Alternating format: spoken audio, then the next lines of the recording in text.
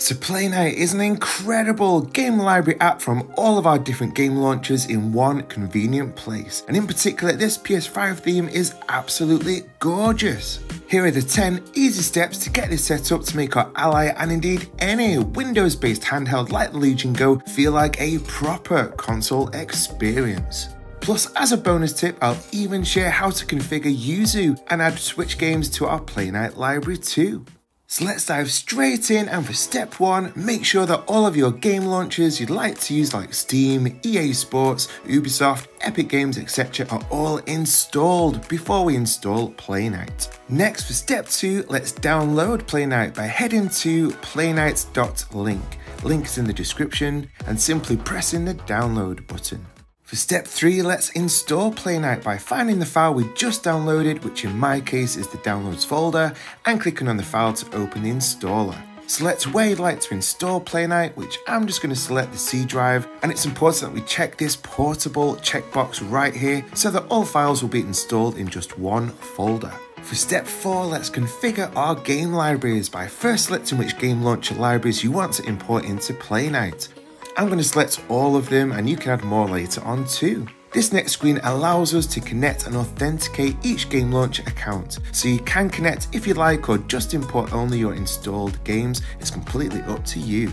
It does take a few minutes after we click finish for Playnite to locate all of our games and for our artwork to automatically appear here in the app's desktop mode. So while we're waiting, I think now is a perfect time for a pancake intermission.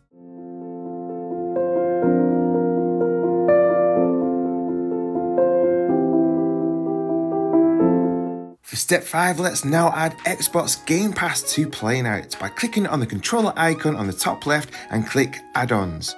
Click Browse, then click Generic, scroll down to Game Pass Catalog Browser, simply install it, press save, then Playnite will restart. Now a new Xbox logo on the left will appear, click on it and the whole entire Xbox Game Pass library will now be available for us to view. So to add a Game Pass game, simply select a game, then press add to Playnite library. For step 6 we can add any games or apps we own manually by clicking the controller icon, click add game, then select automatically.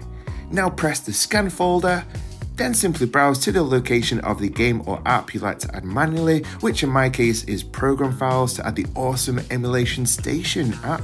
Select the correct .exe file, click add game, and it will then appear in our Playnite library. For step 7, we can change info or game artwork by selecting the game, then select edit, then download metadata, select IGDB, select the correct game or app, so in this case Super Mario Bros. U, press select for it to download, click save, and we now have our brand new info and artwork. For step 8, let's now install the PS5 UI theme by clicking on the controller icon, click add-ons, then browse, then themes full screen. And here are incredible themes from the awesome Playnite community that can make our ally look like a Steam Deck, Switch, Xbox, and many more. But we will select the PS5-ish theme, then click install and then save. Once Playnite has restarted, press the controller icon, then full screen mode, go to settings, then visuals, then in theme select the PS5-ish theme. When you exit it, it'll ask you to restart Playnite, so hit yes, and here it is. Now I didn't realize one important thing we need to check out, so let's head back into the cog settings icon, tick the show background images on main screen. You may want to tick the show game titles too.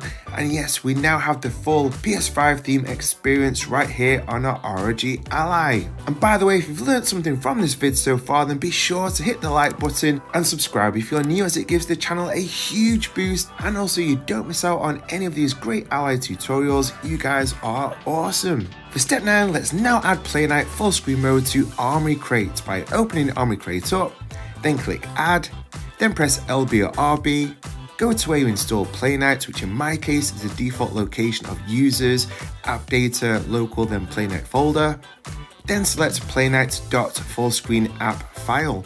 Although for some reason Armoury Crate for me currently glitches out and won't allow me to add new games to Armoury Crate. So hopefully you'll have better luck than me. Thanks um, Asus. Eight weeks later. Okay, so I've just got back from finishing this latest video of the 1.4.11 Armoury Crate update where Asus have just fixed this bug. Hooray! So let's now try adding again and yes, the Playnite full screen app is now available within Armoury Crate. Wow, that was good time, wasn't it? And for that final step 10, let's enable our new PS5 themed Playnite to start up automatically when we turn on our Ally for a complete console experience. So first let's head into Armoury Crate, then Content, then System, then About, and where it says Launch Armoury Crate automatically at System Startup, let's turn this to off. Now let's head into Playnite, into Settings, then switch to Desktop Mode, click on the controller icon, then Settings, then the After Game Closes option to restore window, tick the Minimize Playnite to System tray, tick launch in full screen mode, tick the launch play when you start your computer option, then click save. Let's double check this works by restarting the Ally and it does take about 30 seconds once loaded up, but yes it does automatically now go into our fantastic PS5 theme UI without any prompts. Okay, so for that extra tip in adding Yuzu games to our Playnite library, first press the controller icon in Windows mode, then Library, then configure emulators, then import, then scan folder, locate where you installed Yuzu, which for me is in my user profile app data, then local, then click save. Now let's add our Yuzu ROMs by pressing the controller icon, add game, then emulated games, then add scanner, scan with emulator option, select Yuzu, press the scan folder icon and locate your Yuzu ROMs, Oops, I forgot to add the profile, so press default, click import, and they now appear in our Playnite library. I'd love to hear what you think about this incredible Playnite game library app and the PS5 theme, and also let us know any tips or settings that you prefer in the comments. And as a thank you for watching right to the end of the video, I'd love to share this awesome quote. There's great courage in letting go of a past that no longer fits your future. So many of us are weighed down by our childhood trauma and negative experiences, but be full of courage and let go because they have no place in our incredible future before us. So stay encouraged today, guys. And check this video out if you want to know the top 7 features in my ROG Ally 2 wish list. I appreciate every single one of you for watching, and I'll see you in the next one.